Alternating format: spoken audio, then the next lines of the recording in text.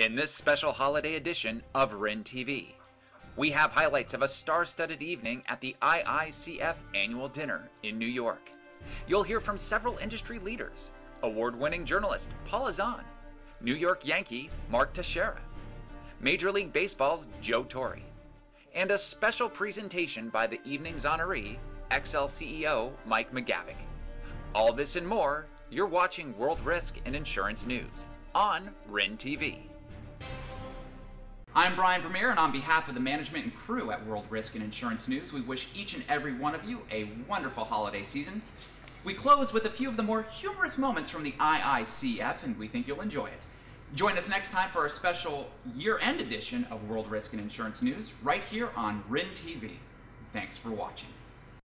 I have never hesitated to ask the tough questions to those in power, whether they be in government, any form of government, uh, science, sports, whatever, including the insurance business.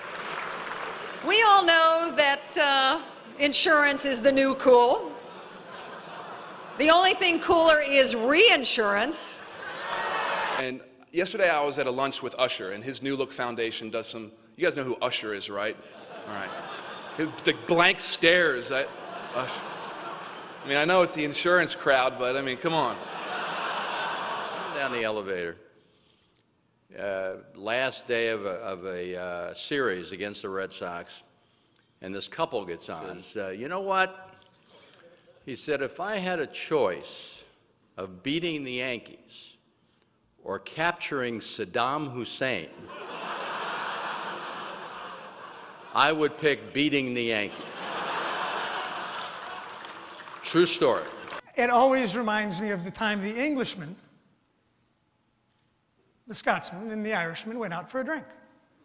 Being of good taste, they chose Guinness.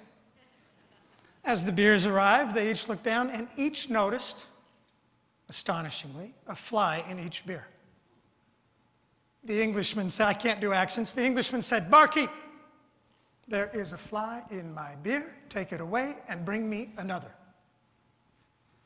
Scotsman looks down, picks up the fly, shakes it off, throws it over his shoulder, says, Waste not, want not. Down it goes.